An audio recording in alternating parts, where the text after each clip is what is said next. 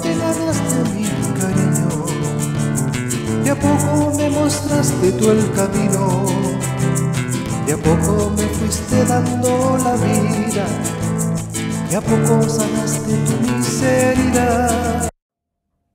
Hemos hecho el combate espiritual, vamos combatiendo con estas presas, estas redes que nos van llenando, nos llenan, pero tú Señor ¿Eres nuestro consuelo? ¿Tú eres nuestra fortaleza? ¿Sí? Bien.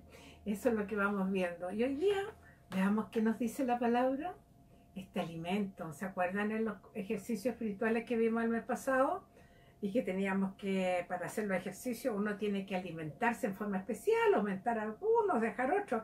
Y para los ejercicios espirituales era un poquito más de este alimento, fuera de la palabra diaria, otro poquito, espero que ya nos hayamos acostumbrado y le decimos, Señor, aquí estamos todos los días esperando. ¿Qué nos vas a regalar para que yo pueda hoy día ser un poquito mejor que el otro? Y ahora nos toca el Salmo 43. Mira como subtítulo dice, envía Señor tu luz y tu verdad. Ese es el título. Veamos qué nos vamos a decir. Y dice en el versículo 8, 5. ¿Por qué estoy desconsolado? ¿Por qué me siento angustiado? Esperaré en Dios y le daré gracias de nuevo, porque Él es mi Salvador y mi Dios. Palabra de Dios. Estamos angustiados. Llevamos cuántos, cinco, seis meses angustiados. Estamos desconsolados. Es cierto, somos humanos, pero dice, pero espero en Dios. Nada me va a quitar la confianza que esto va a pasar y darle gracias porque yo estoy aquí, porque personalmente, gracias a Dios, nada me ha pasado, siendo responsable, ayudando a otros que también lo sean. Así que no nos, cuando nos venga la desesperación, es lógico, pero no quedarnos ahí, sino que Señor, no, no, no puedes esperarme, ven, confío en ti porque te voy a dar las gracias nuevamente como te la doy siempre cuando tú me sacas del peligro. ¿Por qué? Porque tú eres mi Salvador. No lo olvides nunca. Ah, y que hay alguien al lado tuyo que está esperando que tú también lo ayudes. Está esperando que tú también le des una palabra de consuelo. Ahí en tu hogar, en tu hogar. Y mira, aquí hay una persona que va, va buscando y va las oraciones que encuentra en los colegios, los niños, y ahí hizo una, una, hizo una recuperación de las palabras, de las oraciones, y cuenta aquí en uno que dice, literalmente transcribo esta oración de un niño. Y dice lo siguiente, Señor, esta noche te pido algo especial. Quisiera convertirme en un televisor quisiera ocupar su lugar. Quiero vivir lo que vive la tele de mi casa, es decir, tener un cuarto especial para mí y reunir a los miembros de mi familia a mi alrededor. Ser tomado en serio cuando hablo y convertirme en el centro de atención al que todos quieren escuchar sin interrumpirlo ni cuestionarle.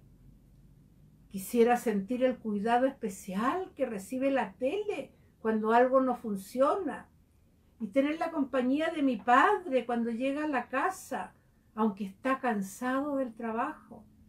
Y que mi madre me busque cuando esté sola y aburrida en lugar de ignorarme.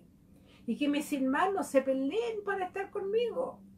Y que pueda divertir a todos, aunque a veces no les diga nada Quisiera vivir la sensación de que lo dejan todo para pasar un momento a mi lado.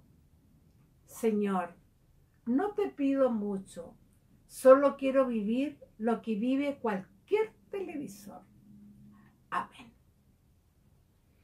Cuando yo leí esto hace mucho tiempo, yo también como mamá me cuestioné porque creo que mis hijos también, mi esposo, yo creo que también Ah, quisieran haber estado en algún momento ser el televisor. Hoy día también. A lo mejor no el televisor, pero quisiera ser el celular. Piensa y medita hoy día, hermano, hermano querido, si hay alguien al lado tuyo que quisiera ser un televisor.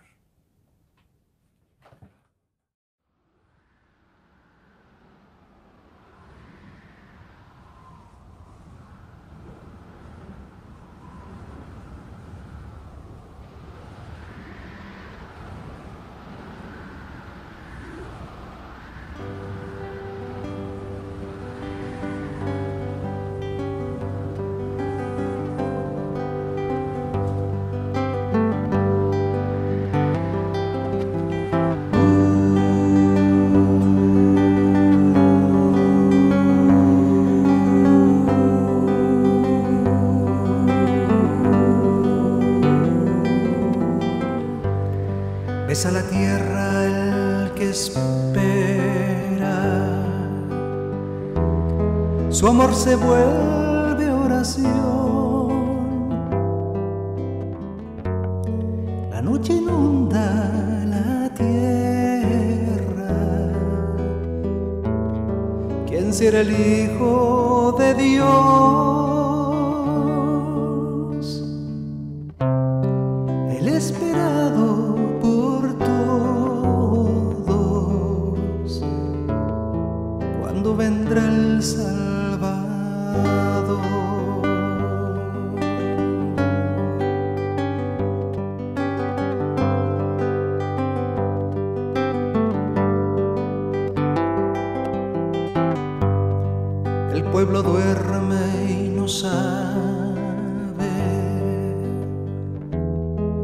El carpintero esperó durante años y años del Padre oír la voz que dijo vamos ya es tiempo. Entonces toda la historia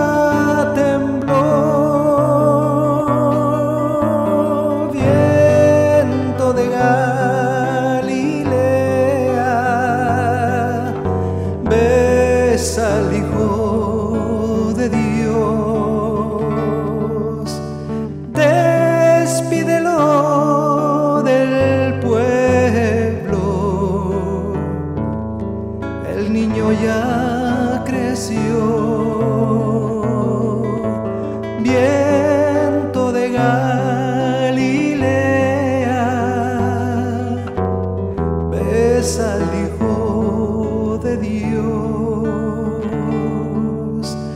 Despídelo del mundo. Ya es el divino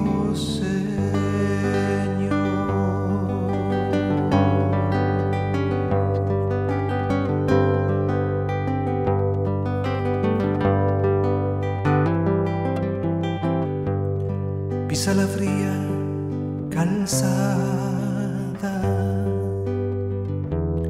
Sandalia en mano salió,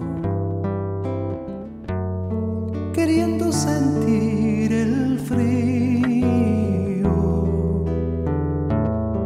que su alma entera inundó.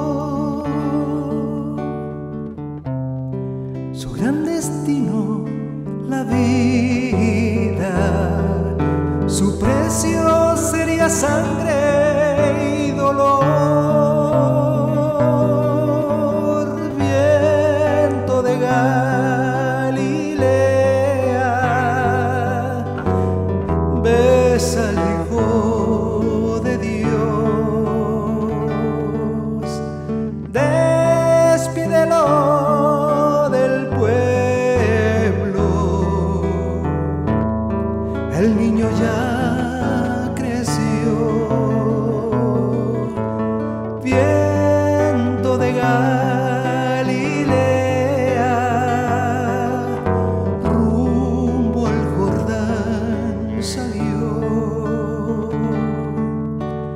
there